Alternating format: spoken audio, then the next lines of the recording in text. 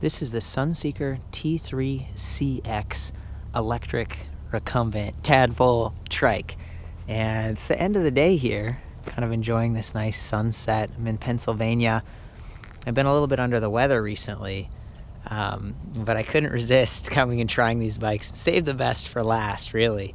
Uh, this is is not the most affordable in their line at 22.85, but it's really not that expensive when you think about some of the specs.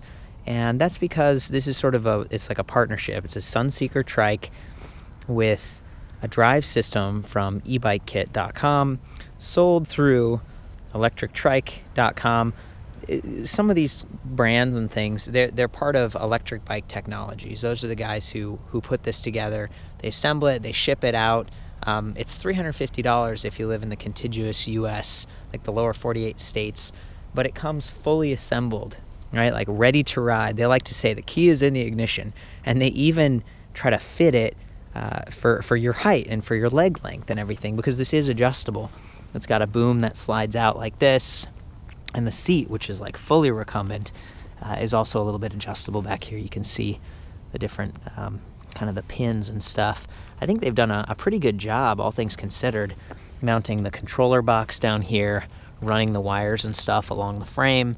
Yes, you know, they are not internally routed. This was not a purpose built electric bike, but that's part of what makes it a lot more affordable than some of the competing offerings that are like 5000 plus dollars. Uh, so this one uses a 500 watt nominal, 1000 watt peak, internally geared rear mounted hub. And it does produce a little bit more noise, but it's actually very zippy, very torquey, and uh, quite quite a performer. the bike actually goes like 26 to 28 mile per hour top speed. It's kind of a speed pedelec if you really open it up. Um, but it does have pedal assist. It also has throttle operation, throttle overrides assist. I'm going to get into that a little bit later, but it's kind of a you know it's at the top end of, of what's possible out there for for electric bicycles and um, the battery really supports that performance it's a 48 volt 10 amp hour pack using lithium ion cells kind of the classic aluminum you know shell it does slide off the bike you unlock it and pull it back and there's a little charging port while we're talking about that i want to show you the, the charger itself 3 amps. That's a little faster. A lot of these are just 2 amps, and it's got that same metal shell. So it's just really tough. You know, it's it does weigh a little bit more because of that, some of the design features, and because it's it's a fairly large capacity, the 48 volts. So this is about 9.3 pounds. Uh, the bike itself, with all the electronics and everything, is about 66 pounds. So you know, a lot of electric bicycles with just two wheels, they weigh like 40, you know, if they're the really, really light stuff, most of them are 50 and some of them are 55 or 60. So to, you've got a three wheel recumbent trike here that's 66. I think that's, that's pretty good. And this thing is, is really designed for speed. If you look at the wheels here, we got 14 gauge spokes, but uh, we've got stainless nipples and eyelets, so they're not going to crack the frames. The, the, the rims are just really tight and, and narrow. Kenda Quest tires. This is 20 by 2 point or 1.25. So, you know, 1.25 being a little bit narrower. 100 psi max right there. Maybe it's like 75 to 100 psi. That's just it's more like a road bike tire. And you can see from the front here, they you know there's a there's a little bit of um, angling going on for your steering, and everything's just real low. If you compare this to some of their other electric trikes, where there's only one wheel in the front and the two wheels are in the back, more like a tricycle, like that. That's their classic trike over there. You know, this is this feels more like you're on a roller coaster or something. You're real low. It means that getting on can be a, a little bit of a trick. Usually sort of step over like this, put a hand down and lower yourself in. And you're just, you know, really, really low and aerodynamic. That's the beauty of um, recumbent bicycles in general. But when you get something like this, it's it's like a race car and you feel it you know there that's one of the things there this doesn't have suspension on it so if you're going fast at those higher top speeds and you're hitting some um, you know potholes and cracks you're gonna feel it but that's part of the fun you know if you get into a porsche or something and you're riding high speed it also feels like tight and and um, i don't know i guess like rigid there's that that transfer of power and energy that you're not losing any of that through the tires or through the frame. We've got two disc brakes, 160 millimeter up front here, and, and it's sort of a it's a different brand here. Uh, it's like WinZip MM. I'm not super familiar. They're mechanical. You know, they work well enough. And then you got these Wuxing levers here that are e-bike specific. So they have a motor inhibitor cable. Whenever you activate this, the motor won't go. Or if it's going, it'll stop immediately. And that's great because this uses a, a cadence sensing pedal assist setup. And it's got 12 magnets, which is kind of the most you can get. And I think it works pretty well up here, but you want to be careful when you're pedaling not to bump that. This is the kind of thing that could get a little bit out of tune if, if you, you know, you bump this piece here. But the flip side is it's easy enough to kind of realign it yourself, right? And even the disc is, it's sort of an aftermarket like clip-on design. So it's easy to work with. This whole thing is fairly modular. I'm a big fan of the screen. It's actually backlit swivels forward and back, but you'll see that it's, it's on this kind of like plastic mount thing here. It's designed to have a little bit of play like that, so if you bump it, it's not going to break. The display pivots forward and backwards, and that's designed to like reduce glare depending on the time of day. Um, but it's big, it's easy to see, even when you're way back here, it's like right there, and then you operate it down here with this button pad. And you know there is a little bit of it's like you know how do you how do you get to that? You want to be careful with your your fingers too you know while you're riding because they are pretty close to the, the tire. But that's just because this thing is tighter. And I do have all the dimensions like the length and width and everything back at the site so you can determine like how, where am I going to put this thing? You know will it fit through my door? And if it won't you keep it in the garage you can still get that battery pack off and take that inside and again reduce the weight of the thing by like roughly 10 pounds so down to like 55 pounds and it's a lot easier to maneuver stick in the back of your car or whatever at that point and slide the boom in and you know it's it's just kind of cool. The other thing that differentiates this model from some of the others at uh, the electrictrike.com, you know, combination um, manufacturer website there is, is that it has more gears. So we've got a SRAM X4, there's eight sprockets in the rear, and we've got three up front. Okay, so that's that's great. You know, 24 speeds means that you're going to be able to keep up with the bike at those higher at the higher speeds. You're not going to have to, you know, wear your legs out spinning super fast. It'll be comfortable for you. And the flip side of that is if, you know, you go out and you're pushing yourself and you run out of battery, well, you can get home a little bit easier hauling this thing around with some of those easier gears too. And I just love that, you know, a lot of the, the tuning here, the, the pipes for the chain, kind of elevate it, and the rollers right there. And then uh, the rack. So some of the other bikes we've been looking at where it's the single wheel up front and the two in the back, those don't have a rack. And, and that's a bit of a trade off because if you're a commuter or something, you know, it's really nice to put your trunk bag up there, maybe your panniers, and put your laptop or whatever. This, this works really well and it's standard gauge tubing. It's even got a bracket back here for maybe a license plate in some countries where they require it or a light. And that's real important. You can see the, the reflectors are there and they're pretty visible, but as it starts to get dark, you, you want to make sure you're protecting yourself and just really yeah, being cognizant of that. And then back to performance, having those two disc brakes, one on each side, you can kind of whip this thing around and really have have a ball. And it, you know, it is pretty, it's pretty firm, more so than some of the other cheaper ones that that are a little bit lower speed and stuff. So this is a performance vehicle. I'm gonna hop back on one more time and talk about uh, that display panel. Again, keep in mind it's a two-step process. You put in the key and you have to leave it in. We've taken off any keychain so it won't rattle. But even if you had a little thing and you know it's it's mostly out of the way. It's not like somewhere it's right where you're pedaling. It's way back here. Click that to on, locks it in. Then we come back here. After a while, the display kind of goes to sleep, like you see there. Press that M button, and boom, the display comes to life. At the top, we've got five ticks for battery level. I know it looks like there are more, but that's just a graphic. It's really like five increments, 20%. Speed in miles per hour. Power level, and I would say assist level, but it actually limits how much power you use with the throttle too.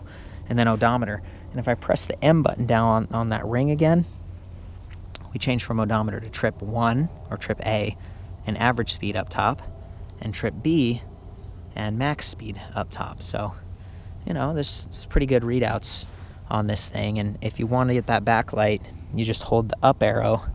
See if we can see it right now. Yeah, you can see it a little bit. See how it's kind of green, greenish? It's getting a little darker. So that's nice. And then you can hold the up and the down buttons simultaneously and it'll enter the menus. And I'm actually here with an engineer from the company. Um, this is Alec. He's been helping me out all day. Hey, Alec. Hey, everybody. And it's it's been great looking at this one. Is I'm glad we saved it for the end because it's just a blast. It's Yeah. super fast. Um, get, kind of seeing you riding it on the way over here, racing through, and you're like, Yeah. yeah, this thing handles. It's really nice. And it pedals well too. It's with, with the, light geared motor, Mhm. and you're you're so aerodynamic that that I was. Uh, I was pedaling along behind you for a while while you were using the motor, and I was just pedaling at 15 miles an hour. And for me, that's fast. So that, Yeah. that was fun. you start to feel it. You know, I've been a fan of the the traditional trike over there because you could haul all the gear and cameras around, and Yeah. I'm kind of like, hey, I want to turn on that one, you know, get the, the high speed. Absolutely. Um, another idea just for safety is you could put like one of those LED tail whips or something Yeah. like that. There's a lot of even shields, windshield kind of things like fairings on the front. It's a lot you can do with this, but even stock, um, I think it's dialed in pretty well. Can you remind me of, of there are like three settings in there? Yeah. Some people don't want to go super fast. Maybe Yep. they want the lightest one. They want one that's nimble like this, Yep. but they want they want to dial it down. How, what do you do? Yeah, th- there's basically three things you can control. Um, on the screen while you're riding, you can control the power output, which Court already showed you. You can turn that up and down from one to five, and that controls the throttle and the PAS. You can also open up the menu and you can set a governor, uh, a maximum speed limit, so you can turn that down to like 20 miles an hour if you want, and that'll shut off the motor when you reach that speed, and it'll kick it back in. That's key for legal purposes in some places too. Right, exactly. 20 is the max speed, or in Europe, 15.5, Yep. 25 kilometers per Yeah. hour.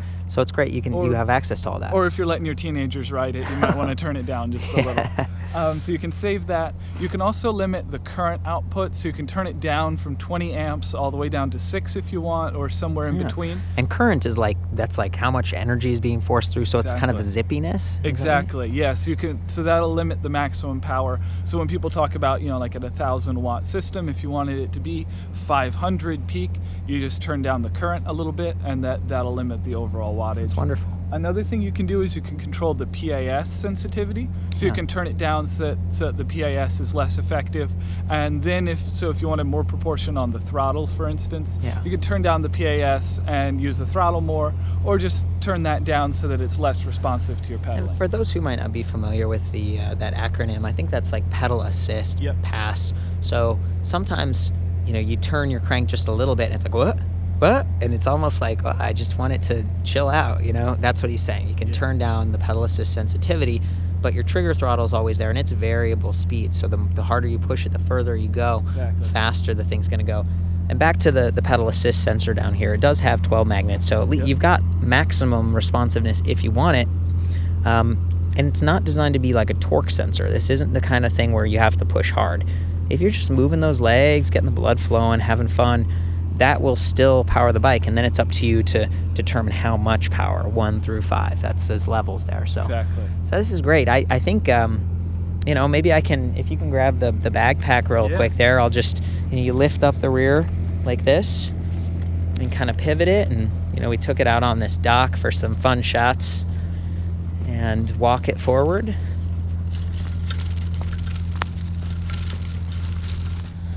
Okay, I know we're losing light here. I'm just gonna hop on this thing and zip, and then we can maybe we can trade off. Yeah. I get that third person shot. wait for a chance. Yeah, Alec is a he's quite the speed demon. I like that they've got these decent Wellgo pedals too. They're cage style, but they're a little bit larger and they've got good grip.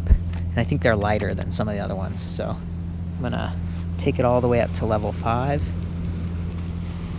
Oh, we had a tugboat go by a minute ago, and you really got the water moving. Look at that! Wow, cool. Hopefully, you'll be able to hear the motor.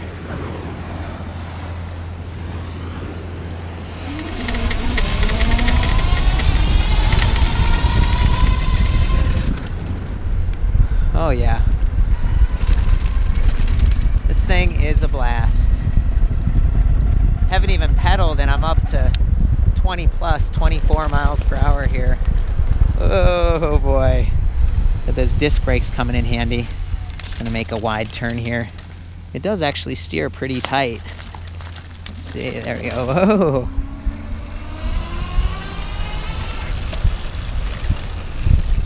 There we go. Some of these rocks here so you can hear it bouncing a little bit. maybe that rack in the back.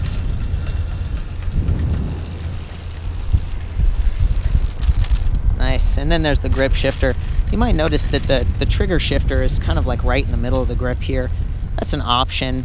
They can put it kind of wherever you want. And a lot of times it's like if you can mount it a little bit lower, maybe below the grip shifter, it'll stay out of the way. And you know, it's it's kind of individual preference how you set this up, but handles pretty well. You ready for your turn? Yeah, absolutely. okay. Oh boy. Okay, so he's actually. Why don't we just take it? You know, we can just kind of head head back that way, and I'll. I, it's going to be hard for me to keep up, but Go you can. up the road. I'll kind of go around you, and then you can zip off and Cool. show the speed. Yeah, I'm hopping on this old, the trusty steed, and uh, let's do it.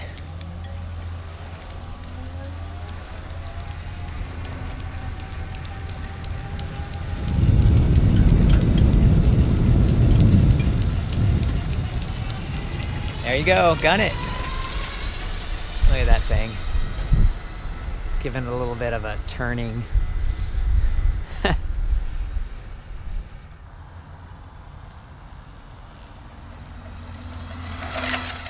oh, really packs a punch.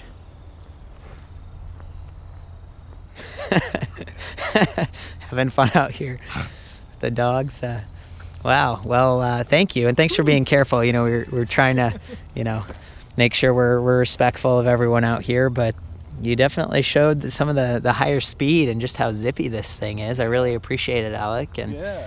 um, I think that's about it. So, you know, if you want to get some more information about this, they've got the the different websites that I mentioned earlier. I'll have all the specs and stuff, but that's the T3CX from Sunseeker. You can find this thing at electrictrike.com. They're the ones who put it all together. But let's say you already have that frame, the Sunseeker frame. They do sell this kit. You can do it yourself. In the future, they're going to have batteries that are interchangeable and stuff. So it's it's pretty neat that way um, especially as it gets to be dusk and you're on like a high speed electric bike, a recumbent that's low to the ground. Please be careful, you know, like like we're doing here. We're doing the buddy system. We're gonna get back before it gets too late, but we've had a blast. I really appreciate these guys having me out, and I welcome any feedback that you guys have, any suggestions on how to mount bags or other accessories like the tail whips or the wind fairings. And um, I'll see you next time. Cheers.